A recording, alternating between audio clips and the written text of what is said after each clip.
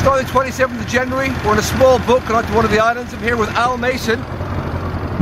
Stubbsy's behind the camera. We've just had to avoid this massive iceberg to go and try and get under this uh, mountain in front of us here, which we're going to try and climb today.